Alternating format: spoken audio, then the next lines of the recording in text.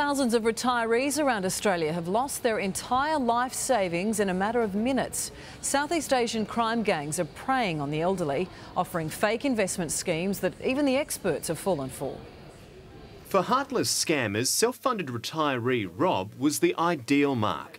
Just gut wrenched, absolutely.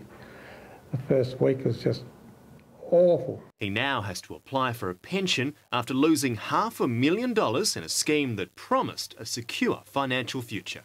We have an ageing population. We are baby boomer rich, which means to them it equals target rich. Offshore crime syndicates have scammed nearly 2,500 Australians in the past four years. Most were selected through information bought and sold over the internet. And they already know before they ring the person their name, their background, their interests, then there are professional looking websites where victims can monitor their fake investment. Uh, we have had people fall victim to this who are, in fact, professional financial consultants themselves.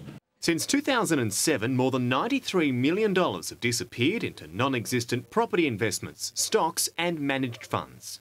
Trust me, these people will take everything that you have. I've lost my home too. Yeah, at the moment, I'm basically in a suitcase.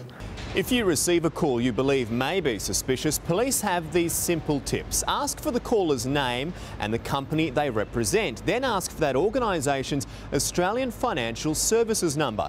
Then ask who owns that company and, more importantly, get the contact details of the organisation, including its address. If they hesitate or avoid the question, the deal is probably too good to be true. Lachlan Kennedy, 10 News.